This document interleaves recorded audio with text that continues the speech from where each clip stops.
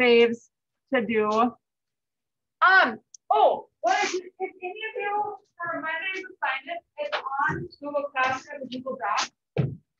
But if any of you prefer a paper copy, like you do have to have the internet, you have to use the website. But if you'd rather write down your response instead of typing your response, you can have a paper copy. So is anyone that wants a paper copy?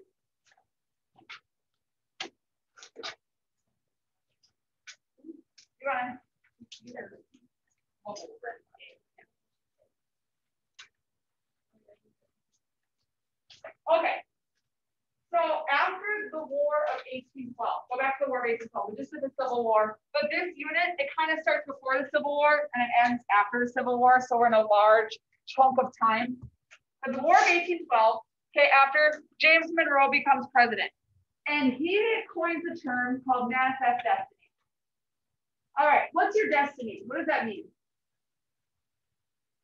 Ahead. Like, what you're meant to do. So anyone know like a synonym for destiny? Yeah? Fate. There we go, Sky. All right, like your fate. What's your what's your destiny? Okay, what you're meant to be, what you're meant to do. Well, in the US after the War of 1812, the US focused on our destiny in our country in the 1800s was to span from the Atlantic Ocean to the Pacific Ocean. So they believe we're supposed to go from sea to shining sea. No, it's not going to be easy because there's some other people that live in different parts of this land that have been there for generations. But the presidents and the Americans say it's our manifest destiny, meaning God has willed it. God has determined that we need to go from sea to sea. And so this is the most famous image from the 1800s to depict this. Um, most museums you go to, if they're covering the era of the 1800s, this painting or like this reproducible would be there. Most textbooks is going to have this picture. So what's happening is this is manifest destiny. You have settlers that are heading west to the Pacific Ocean, or think of like we know as like Oregon, California.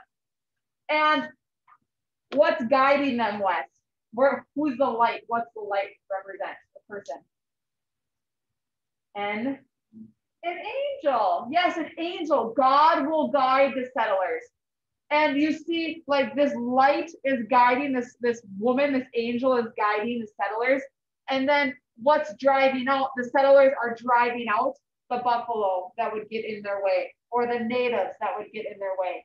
Now it's not going to be that easy, but God wills the US to be from sea to sea.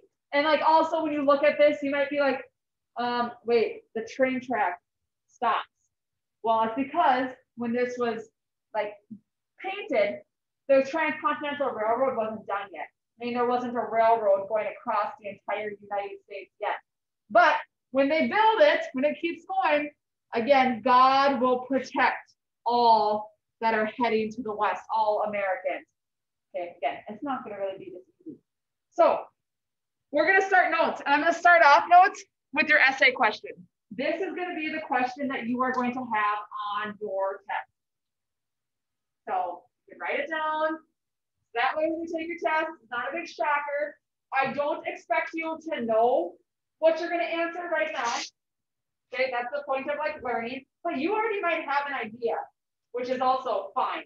Okay, but I hope by the end of this unit, you're going to at least have a thought process of how you'd like to answer this. So the question that's going to be the essay question on your test is, was the United States expansion to the west, to the Pacific Ocean, was it the fulfillment of our country's destiny? So like, was it manifest destiny? Or was it a hostile takeover of lands that were already claimed by others? So was it our destiny? Was it fate? Was it bound to happen? Did it have to happen? Okay. Or would you consider history as it being a hostile takeover of lands already claimed by others? There's not a right or a wrong way to answer this. So some of you are going to say this. Some of you are going to say this. And some of you are going to get it right, even though you answered it different than someone else, and that person's going to get it right. Okay, it's your opinion. You gotta have an educated opinion with logic, okay? Like reasons as to why you believe the way you do. So hopefully things that you learned in class. So I'll let you write that down. And then while you're writing, raise your hand if you have a sibling. Okay, raise your hand if you have little siblings. Okay, all right. For those that don't have siblings, use your imagination. All right. Everyone else still use your imagination because maybe it's never happened at your house. So here's what you're gonna think about is let's say uh, you just get the, the newest gaming console, like the newest Xbox or PlayStation, okay? You get the latest and the greatest. And you're sitting here at school, you're not really thinking about and listening to what I'm saying because you're so excited to get home and, and just play your video games, you're excited to game. So you get home and one of your siblings beats you to it and they're gaming instead. But you really, really want to play. So I want you to think about first, don't say it out loud. What would you do to get the gaming console from your sibling? All right, what approach do you take? So,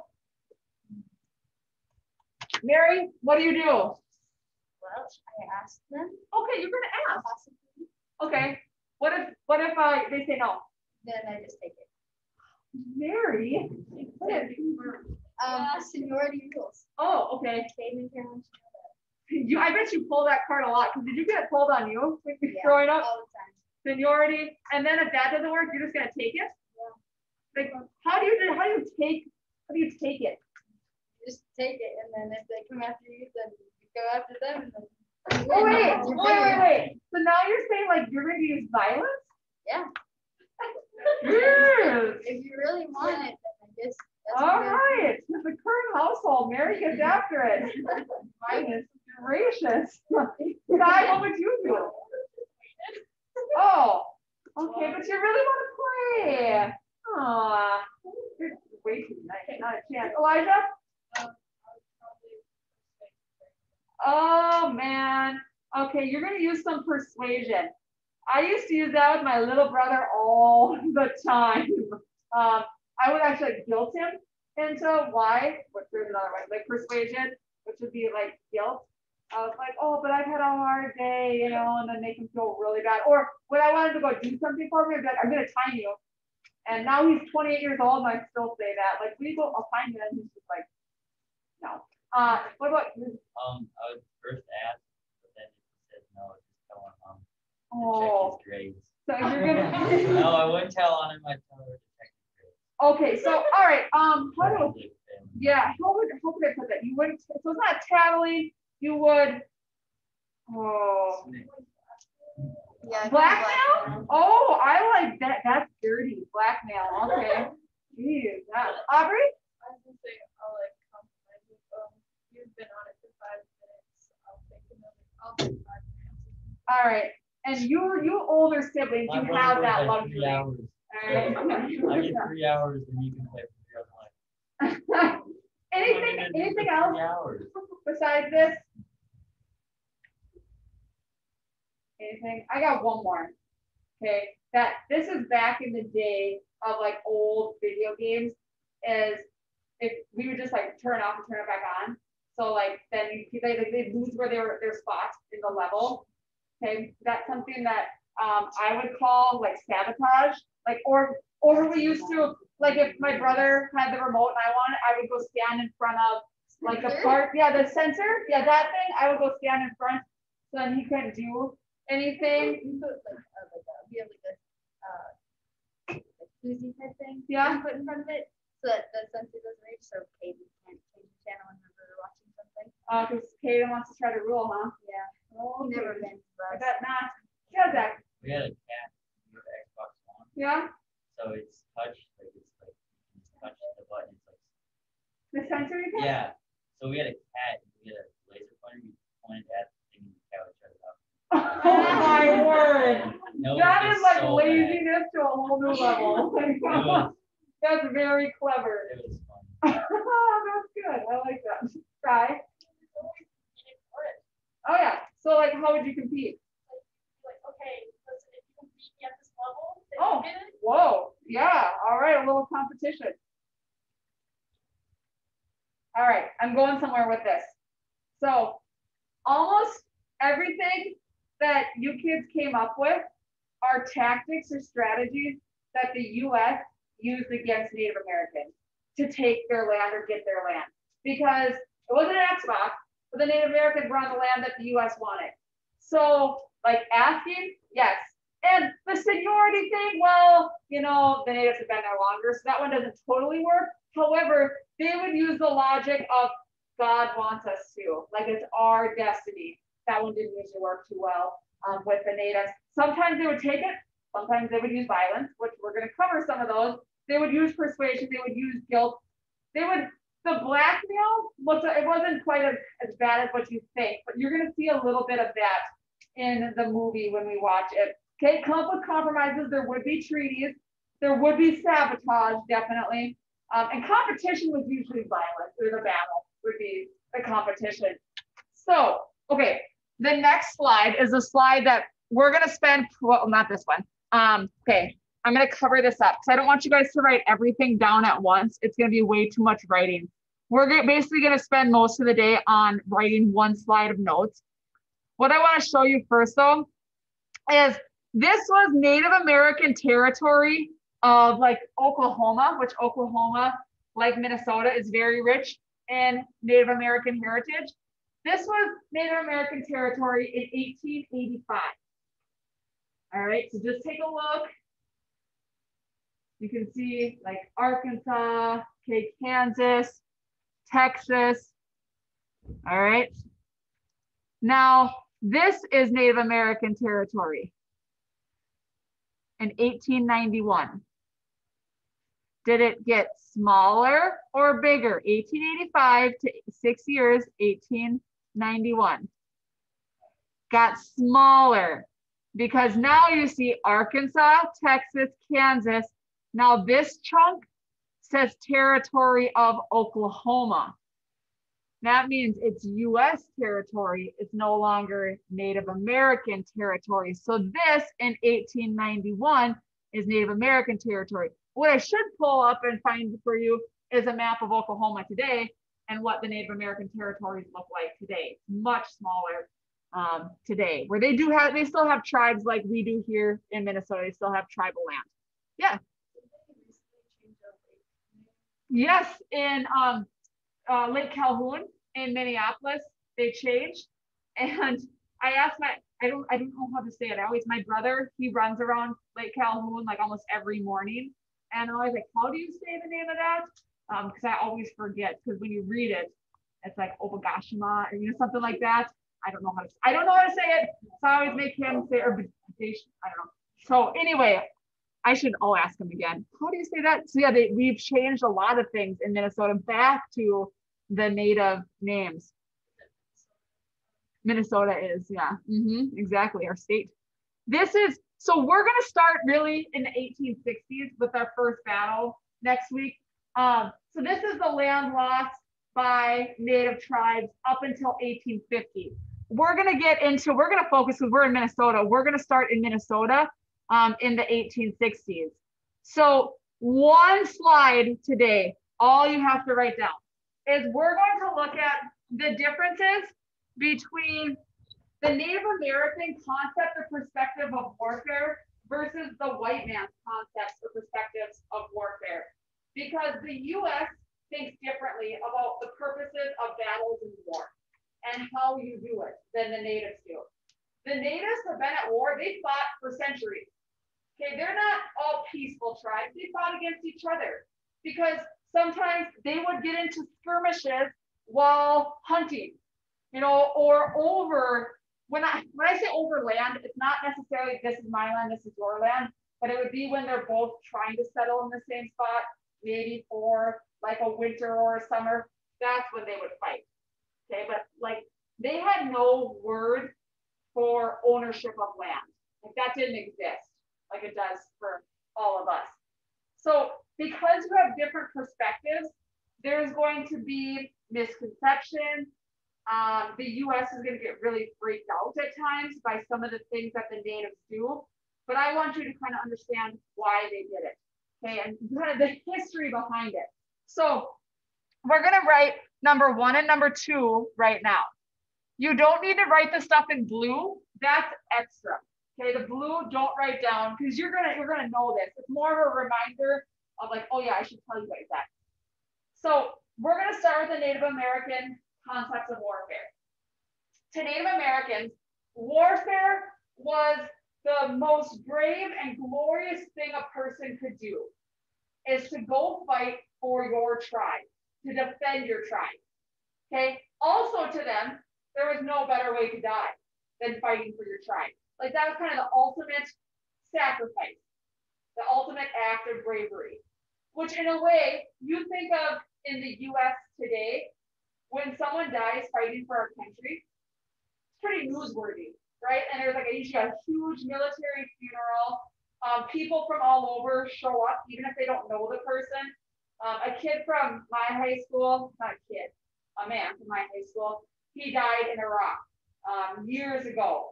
And they had his funeral at our high school gym because that was the biggest spot in town.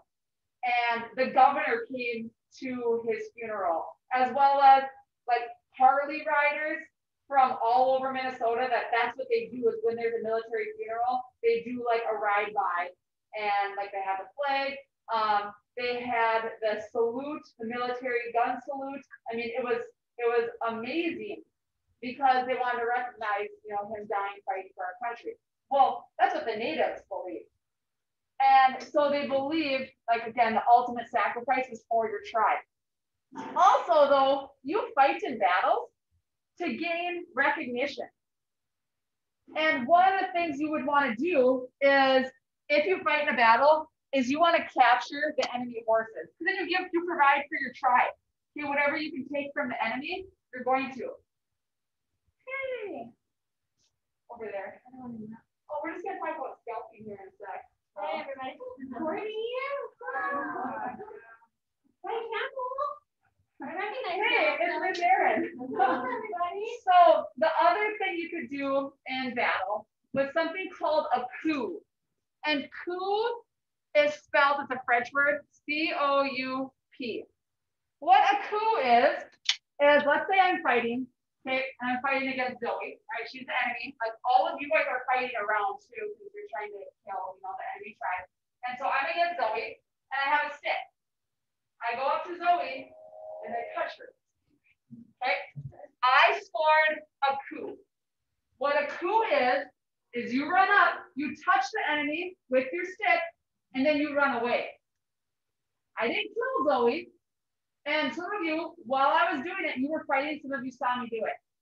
So you can vouch, like Sam Schmitz scored a coup.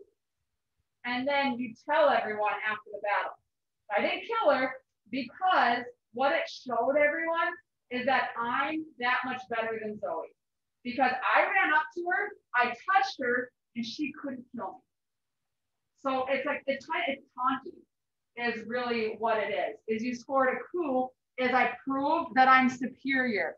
And so they would have these things called a coup stick, not acoustic, that's music, a coup stick and different tribes would decorate their sticks differently. So I believe this is a, I think this is an Ojibwe stick, if I remember right. And so this must have been the Ojibwe, they put feathers for the number of coups. So like this soldier would have, or this, you know, Ojibwe um, fighter would have had maybe like, maybe there's two coups. I can't tell if that's two feathers or one. Um, but they would have feathers to show how many coups they had. So if you're in a battle and you see the enemy, like if one guy's got like six on his uh, coup stick, then maybe that's who you'd want to take out because they were that much better than everyone else. So like the bravest thing, what? Why are they just going around eating each other's sticks? Yeah, right? Well, okay, here's the like the end of the story is let's say I scored it on Zoe and I ran away and like I'm doing the rebel yell, you know, yelling that I'm not much better and you all witnessed it, then someone else on your side could come in and take her out. And then, okay, so you score your coup, you show up, not done with Zoe. All right, anyone know what would happen to like the, the person that was killed next? No? Okay, I'm gonna tell you. They'd scalp them. So scalping is what it sounds like. Is you take a knife and you rip off the person's scalp. And then that's something else to show how many kills you got. Because when you go back, all right, I got, you know, four scalps, four kills. All right, like, yeah, it might make you like a little queasy, you know, to think about that, but there was a reason why they did it. Number one, personal recognition to show off. All right, which, you know, that personal recognition, obviously, people, they join the military in the United States to fight for the greater good. But also, have you ever noticed like people in the military, when they wear their jackets, they have bars and patches that all mean something. And so, or if they have like a purple heart or a medal of honor, they, just, they kind of deck themselves out the decor. That all show, shows personal recognition as well. So they did it with patches, all right? Natives did it with a coup stick, um, and then you know scalps as well, but they didn't wear the scalps or anything. So anyway, why they would scalp too, not just to show how many people they killed, is the Native Americans had their own concept of heaven. They didn't call it heaven, okay? But all of you have maybe heard about or thought about like the idea of heaven before. Whether or not you believe in it, like that's fine. I don't care what you believe, but you know, like having you think of like this afterlife or like maybe like this amazing place. Well, the natives had that. Their heaven they called the happy hunting ground. They believed in the afterlife, their soul would go to this place called the happy hunting ground where they would be able to every day, all the time, be in nature and they'd always have a successful hunt. Because native tribes didn't always have successful hunts. Sometimes they'd follow the food and they would be successful. Sometimes they'd come home with nothing. So the belief was if you died in war, that was like your path to go to the happy hunting ground. However, if you got scalped, you didn't go to the happy hunting ground. If you got scalped, you would be left on earth forever. And you would be left, not like, don't think like a ghost that haunts people, but you're basically like your ghost would be on earth and you'd be walking around the earth and have no control over anything. So basically, like, like you just be observing and you do that. There's nothing you could do about anything. And so they scalped their enemies to stop him from going to the afterworld, to the happy hunting ground. Instead, wander the earth aimlessly and be able to do nothing. So that is also why they scalped. Yeah. So it's like the, the afterlife, like the shared thought, like Very common like amongst most tribes. Different lingo, you know, but that was something that you know, there's obviously differences in tribes, but that was a very common theme. Just like how most of the tribes, you know, they treated kind of earth as their sacred space, you know, and like the sacred spirits of earth. Like all of that is pretty a pretty common um, thread throughout all of the tribes in America. Yeah, good question. Um, because okay, the bravest like thing to do was to die in battle they were not kind to POWs. Which what's a POW? Prisoner of war. They treated POWs really, really bad, really harsh, because they looked down on them. How could you get caught and not die for what you believe in? Like you let us catch you? Like how pathetic. So they would torture their POWs, which again, they've been doing that for generations. When they do that to Americans and they scalp Americans, that's when things are going to get a little bit contentious because you got Americans coming going like, what is happening? Like, look at this is where you get the term they call them savages. Like, look at these savages. But again, to Native Americans, there was reasons why they did it. Now, sorry, this got stuck at the bottom, but the white man concept of warfare, I don't have a lot for you. They'd rather not go to war. That was a last resort. So they'd rather form a treaty. Like, let's make a deal. I already erased that list, but for those are talking like, I would make a deal with them. Yeah, that's what they'd rather do. They didn't want to go to violence right away. Or like make a coalition, like we'll make an alliance. All right, we'll help you, you help us. They usually didn't necessarily follow the treaties or the alliances, but you know, that's what they said they would do. And then for number one on the white man concept, okay, why I put it like that, I didn't really know how else to word it without making it super long. Sorry, Mary. I think you're good. I just had to see if there's any more. Okay, so the white men, remember back in the Revolutionary War, uh, the Patriots used like guerrilla ambush tactics where they would hide in the trees and then surprise the redcoats. Well, did they do that in the Civil War? No, they line up across the field and shoot at each other. So why I said like the U.S. they had tried hit and run tactics, kind of, but then they regressed during the Civil War and went back to the old ways, where like the Native Americans, their warfare is based on ambush. Like they're going to attack, surprise, they're going to stop the enemy, and then decide when to attack, then they're going to retreat. Okay, the US had tried that, but they're back to their old battle ways. All right, and so instead, they'd rather make a deal and not have to go to war. All right, is everyone good on this slide? Okay, we're done with notes, but we still got a little more to talk about. All right, so before I go to that picture, the buffalo was the most sacred animal to any Native American tribe. It was really like it was their source of livelihood. All right, so what would they use a buffalo for? everything, yeah, everything. Like what? Give me an example.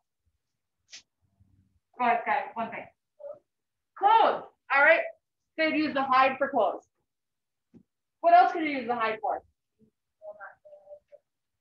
You can use the hide for like their teeth. Their teepees, mm-hmm.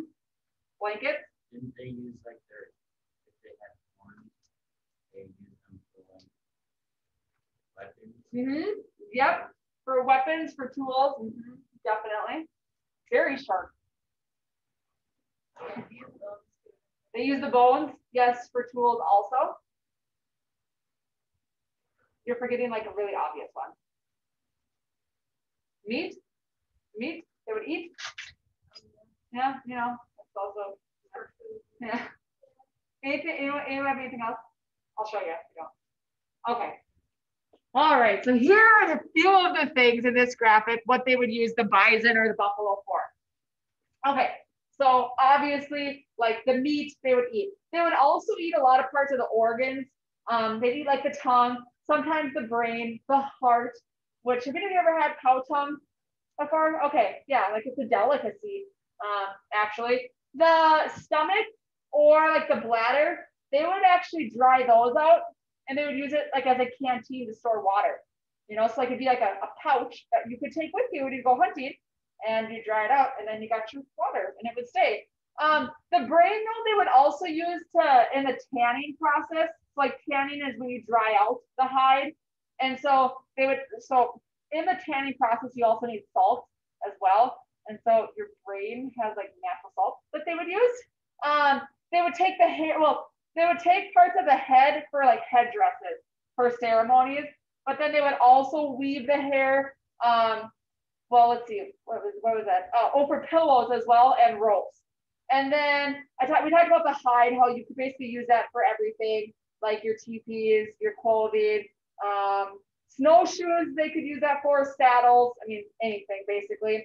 Hooves, Okay, you guys ever heard the phrase, but it's super insensitive, so I don't want to offend anyone, but like here, someone say, like, I'm gonna take the horse to the glue factory.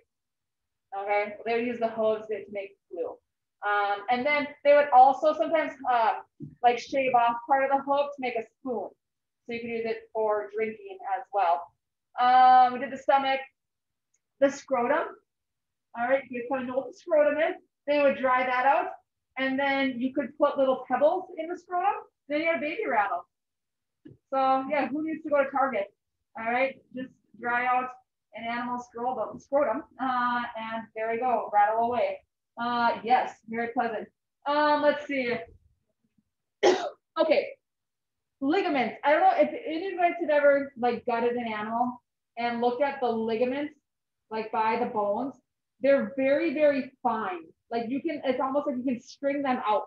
With like a knife or like a pliers or anything like that.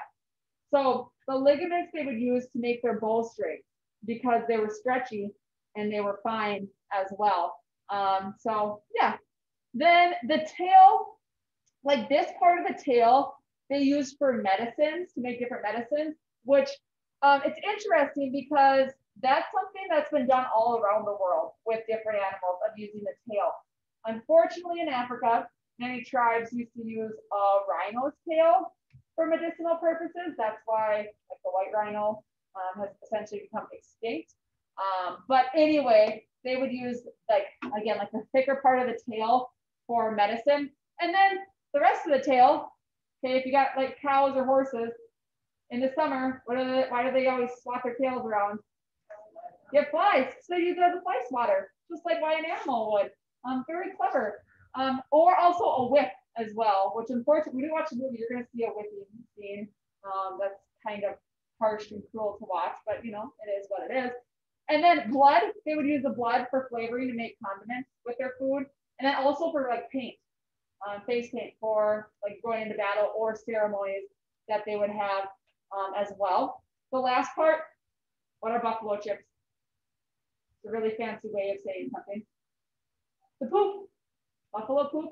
All right, so you can use poop for fuel, right? All right, for heat. So they would burn it for heat. Also, though, I really want to know how they did this. They would dry buffalo poop and then they would crush it up like into very, very fine pieces. I shouldn't be doing that when I'm talking about buffalo poop. Um, make jewelry. Yeah, then they would mix it with, can you? I, It's you take. I oh, yeah.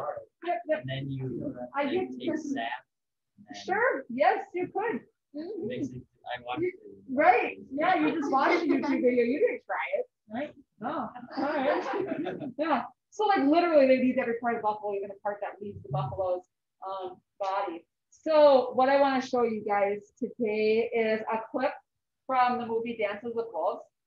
Have any of you seen that movie? It's really long. We're not going to watch the whole thing in class. It's not totally appropriate for class. Okay. A couple of you have seen it? Yes, yes, okay. So I'll give you a little background then to the movie. It stars Kevin Costner, one of my favorite actors of all time.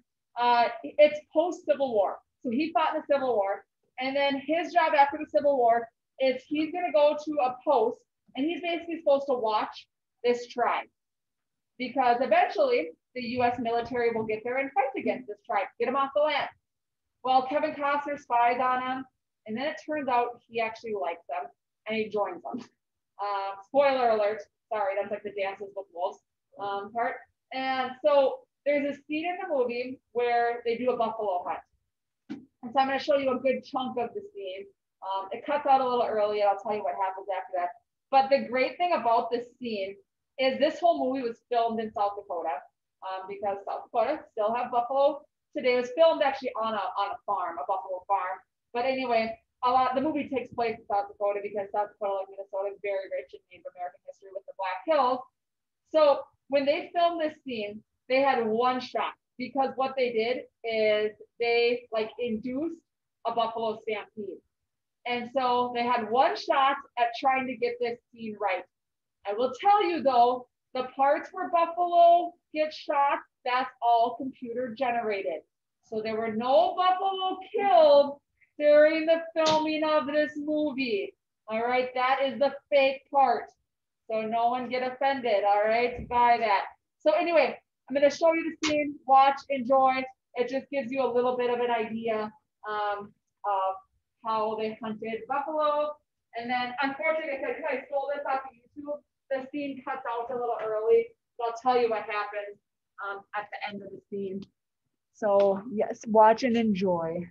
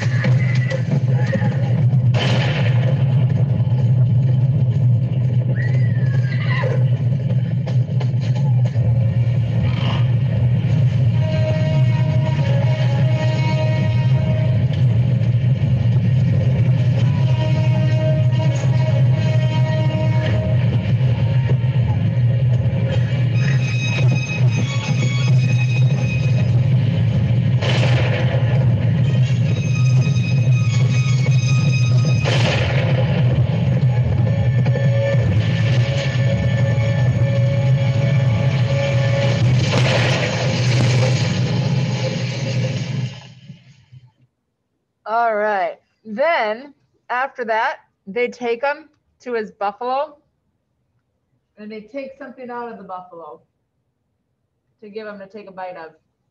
Anyone know what it is? Heart.